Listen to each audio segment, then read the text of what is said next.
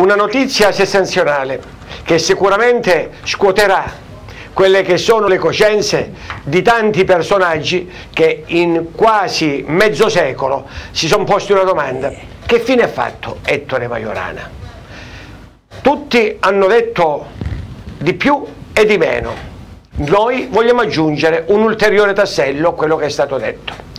Siamo con Aurelio Pelle, già sindaco di San Luca, il quale tra le sue pubblicazioni ha dato anche alle stampe Cippo 382 alias Ettore Majorana. Di questo volume, ancora fresco d'inchiostro, ne parleremo a lungo in un 60 news. Però noi vogliamo essere anche interpreti di questi suoi sentimenti. Che cosa significa? Cippo 382, che cosa possiamo dire di Ettore Majorana? Cippo 382 indica il posto nel, nel, Camposanto di San Luca dove è stata inumata la, uh, la salma di Ettore Majorana, ovviamente non a suo nome ma a nome del, eh, a nome del personaggio, diciamo, della persona eh, che lui eh, aveva diciamo, dettato al comune, di, eh, al comune di Polistana mediante una dichiarazione sostitutiva di atto di notorietà presentata il, il 10 giugno 1931 e successivamente ratificata il 5 dicembre 1933. In base a che cosa lo dico io? È questa cioè, è una mia deduzione. È una mia, è una mia deduzione perché Majorana, rientrato dalla Germania proprio nel, in quel periodo, a dicembre, da quel momento in poi è scomparso e secondo le sue abitudini, sornione e canzonatorio com'era, incominciò, si isolò, cominciò a provare il look che poi ebbe sempre nel periodo in cui rimase a San Luca, non ininterrottamente perché da certe notazioni che risultano sui registri dell'anagrafe di San Luca stessa, lui eh, dice di avere trascorso tutta la vita, tutta la vita per, con il nome nuovo, non quella effettiva sua, interamente a San Luca e a Polistena. E allora, qual è la deduzione?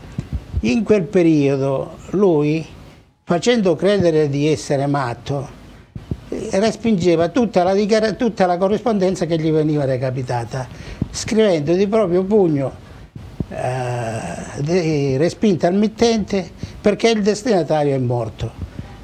Lui, il destinatario era morto perché lui si riferiva a Ettore Majorana che da quel momento in poi lui ha ritenuto scomparso, morto. E quindi diciamo... diciamo che Ettore Majorana, per chi non lo sapesse, è uno dei personaggi più importanti, è un teorico della fisica all'interno del gruppo di fisici noto come i ragazzi di via Panisperna che operò importanti scoperte riguardanti la fisica nucleare e la meccanica quantistica.